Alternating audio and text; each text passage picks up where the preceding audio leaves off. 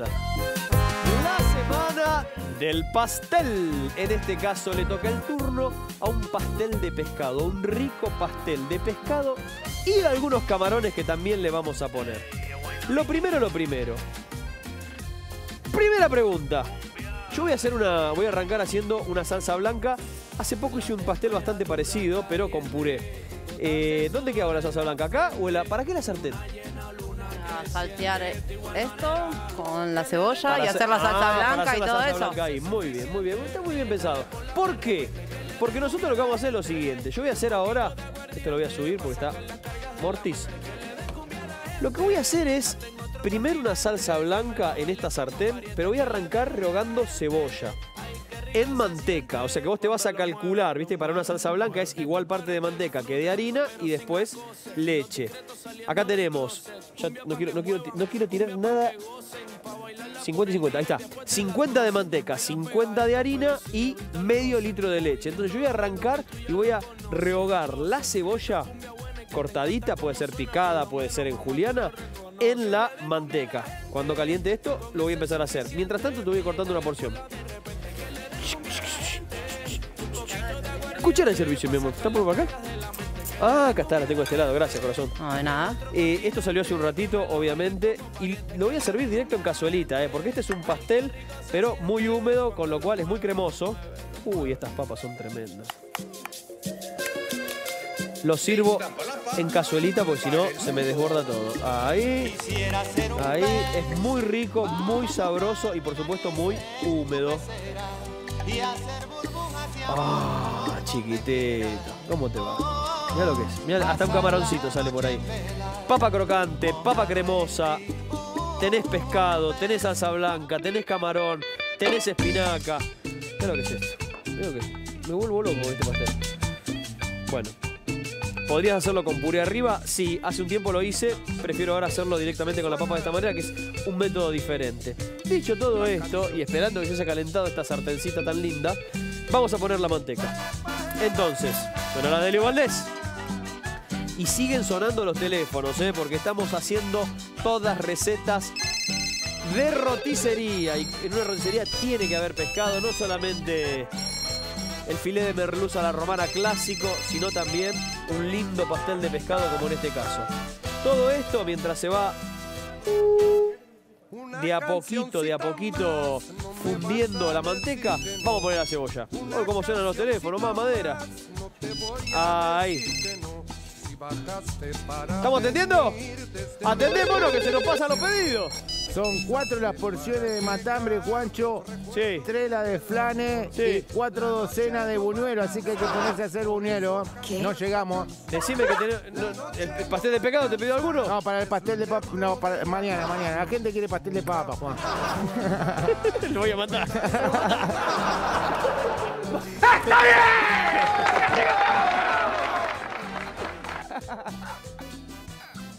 Qué grande, hermano. ¿Cómo te quiero, mono? Vendeme el pastelcito de pescado que Bueno, está vamos con el pastel de, de pescado. Sale con porción de budín de pan que la va a llevar un ratito nuestra amiga Lu- Muy bueno. Bueno, este. Cuchara de madera, por supuesto. Y acá, la cebolla la vamos a ir cocinando. No tanto, un poco, ¿viste? Tiene que transparentar. Lo importante es eso. Para darle sabor a la cebolla, le voy a poner un poco de. que va muy, muy bien. También va muy bien con el pescado. Le voy a poner eh, tomillo. Adentro, un par de ramitas de tomillo le va a ir bárbaro a todo esto. Ahí, ahí y ahí. Un poquito más. Yo acá adentro, ¿por qué lo estoy haciendo? Generalmente somos ollita. Pero ¿por qué lo estoy haciendo en sartén? Porque necesito que me quede bien expandido todo esto, bien amplio o abierto, mejor dicho, para poder hacer esta salsa blanca y adentro de la salsa blanca cocinar muy rápidamente merluza en este caso. Vamos a hacer una merluza, el pescado fresco que encuentres, en trocitos, en trozos, no lo pico mucho, sino que lo corto en trozos, lo voy a poner acá para que lo veas bien, diré. Este, y se va a cocinar un poco ahí. Entonces necesito que sea amplio, porque si lo pongo en una ollita chiquita, puedo hacer perfectamente esta bechamel compuesta, llamémosle, porque tiene cebolla, pero va a quedar todo como apelotonado y se me va como a romper todo. Y no quiero, quiero que el pescado mantenga un poco su, su textura. Así como está, con un poquito de sal. Ya casi que estamos como para ir agregándole la harina. ¿Cuánto de harina? La misma cantidad que le habías puesto de manteca. Le pusiste 50 gramos de manteca, le vas a poner 50 gramos de harina. Y ahí voy.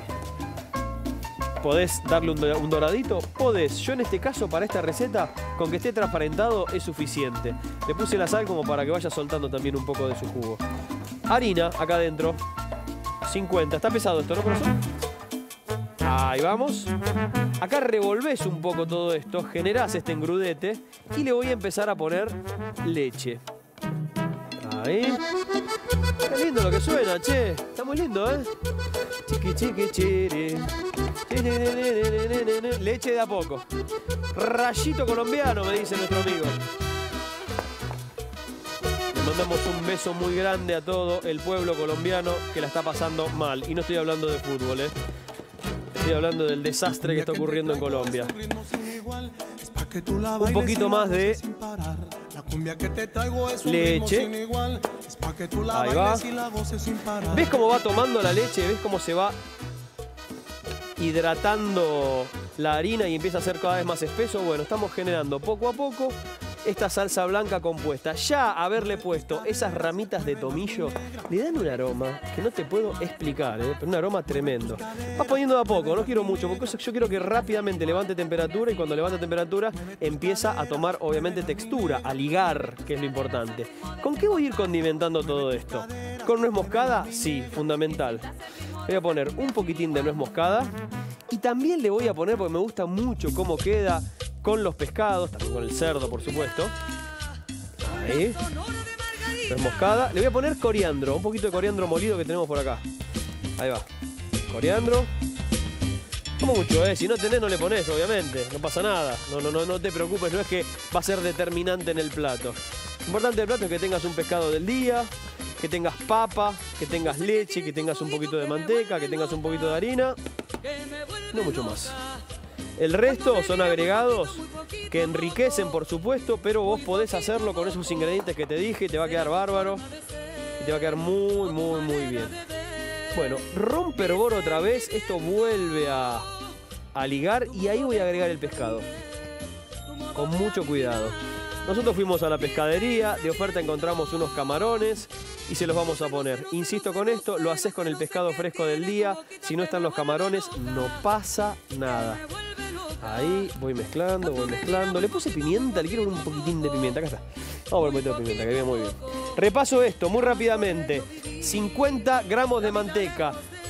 Una cebolla cortada en juliana. Rehogás la cebolla transparenta con pizca de sal. Y a eso le agregás 50 gramos, la misma cantidad, de harina.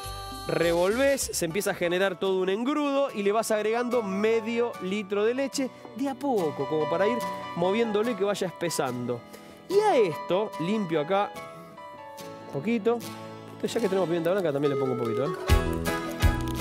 No, no, no le poner. Este, y a esto le voy a poner el pescado directamente acá arriba. ¿Cuánto de pescado? Medio kilo va a estar bien. Si querés un poquito más, un poquito menos. Acá lo vas a cocinar al pescado, directo, ¿eh? bien fresco, firme. Me encanta cómo queda esta preparación. Yo estoy haciendo un pastel, es la semana de los pasteles. Y esto queda espectacular. Voy a cortar un poquito más. Y esto queda espectacular también.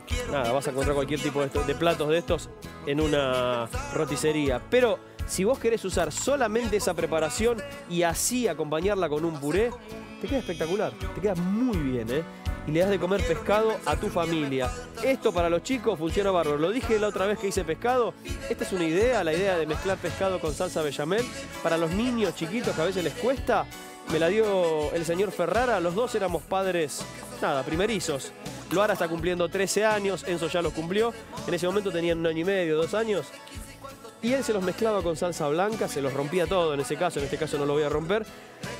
Y lo devoraban. Y era una linda manera de que empiecen a comer pescado. Dicho sea de paso, hermoso pescado. Gracias a Norfish Pescaderías nos brindan un hermoso, maravilloso pescado y mariscos para cocinar en el programa. Seguilos en sus redes. Esto se cocina muy, muy rápido, ¿eh? acá delante tuyo. No mucho más que esto, ¿eh? Ahí va. Una vincha en tus Oh, cabellos. Entró Leo Dan a la roticería de cocineros argentinos. Una flor en la ventana. Qué lindo. Y siguen sonando los teléfonos, ¿eh? Decile a Ferrara que ya le mandamos su pedido, ¿eh? Me voy a lavar bien las manos. Esto se cocina 3, 4 minutos. Es un filé finito. Se tiene que cocinar rápido.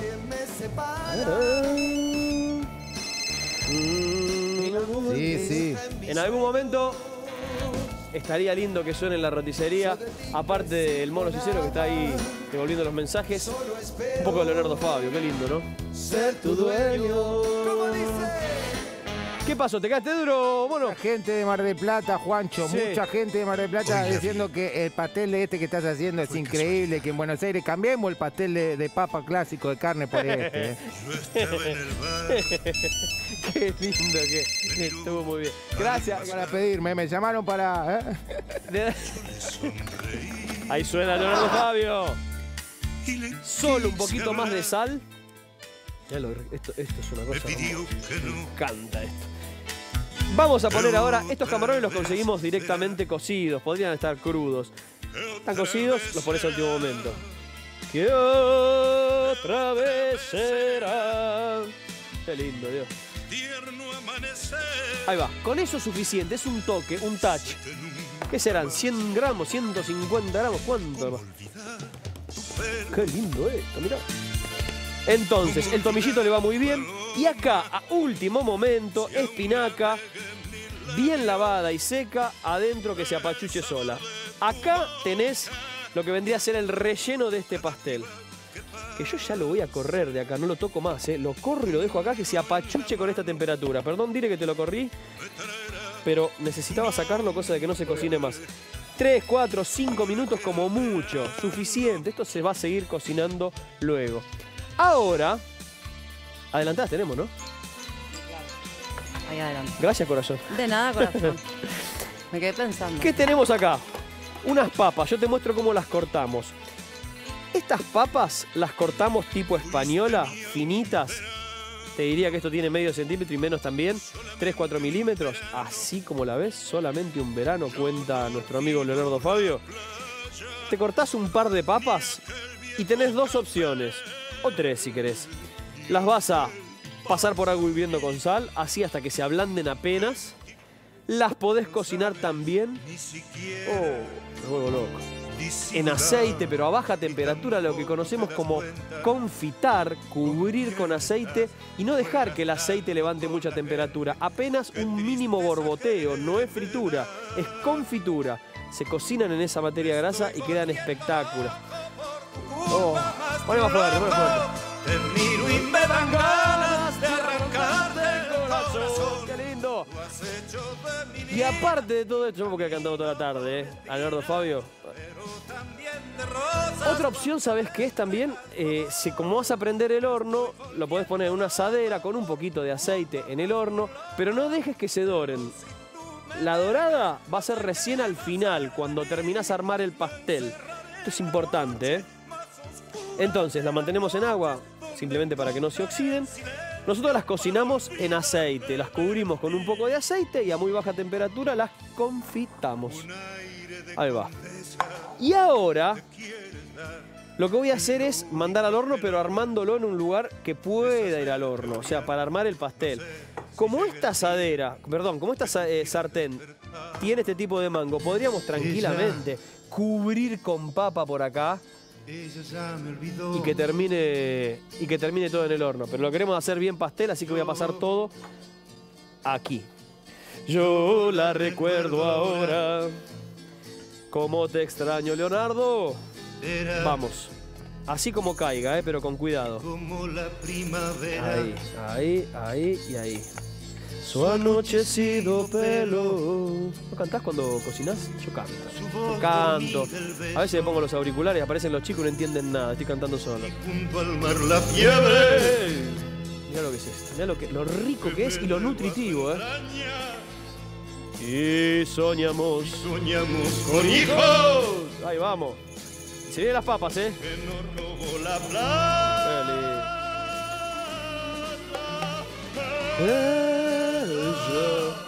Ella ya me olvidó. Qué lindo, Dios. Voy a acomodar las papas acá arriba, pero primero, ahí, un poquitito.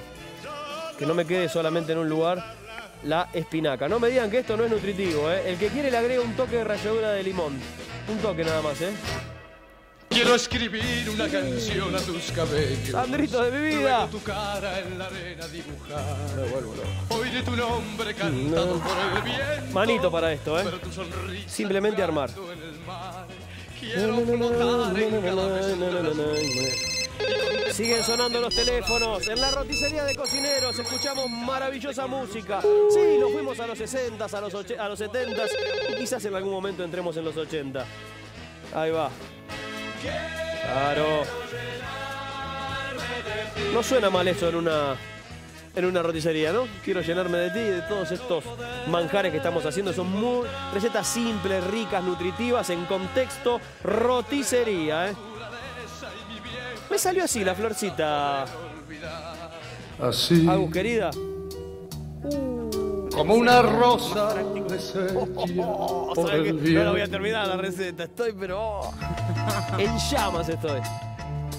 ¿Sabés la ruta que tenemos con el señor Ferrara recorriendo la Argentina de punta a punta? Que cuando se pueda volver a hacerlo vamos a hacer en Cocineros Argentinos. De hecho, en este momento Sofi está, obviamente, con todos los protocolos del caso en, en San Martín de los Andes grabando. La ruta que tengo con ese muchacho escuchando estos temas. ¡po!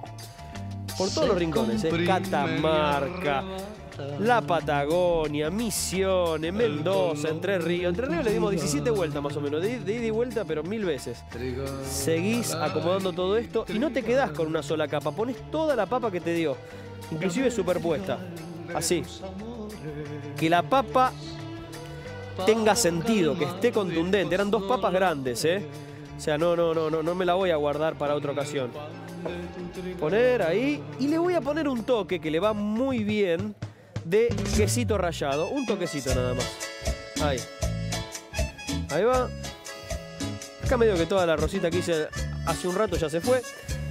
La papa tenía un poquito de sal, pero le voy a reforzar un poco más. Ahí va.